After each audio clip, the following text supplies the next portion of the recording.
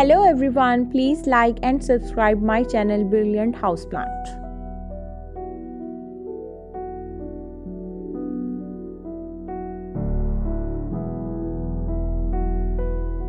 Coriander is one of the easiest leafy fragrant herbs. It is a fast growing plant known as cilantro in Spanish and dhania in Urdu. The coriander seeds, known as sabut dhania, are an old herb. It is an essential spice in our kitchen and is available at cheaper rates. The coriander seeds are round and somewhat light brown. These edible seeds we use in cooking are used for growing green leaves of coriander. Coriander can't survive in frosty and hot weather. The best month for this plant is spring and autumn.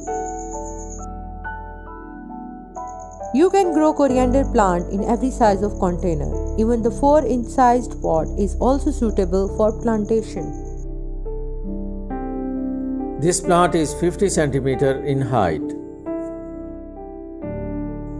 Before sowing, crush the seeds in two halves between your palms. Soak them in water overnight or for at least 8 hours for quick germination. Don't sow the floating seeds because they will not grow.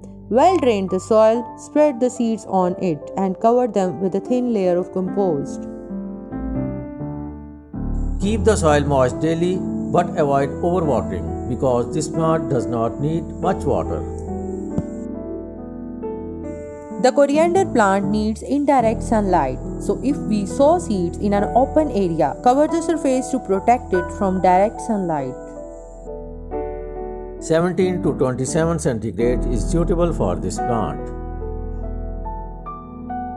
Use organic fertilizer for coriander plants. Don't over fertilize the plant because too much nitrogen may spoil its flavor. Coriander seeds take 1 to 3 weeks to germinate. When the stems reach 4 to 6 inches, harvest it.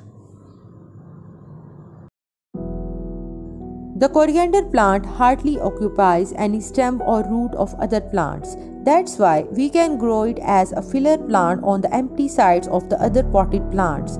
Always place coriander plants in cool and shady areas. Thanks for watching.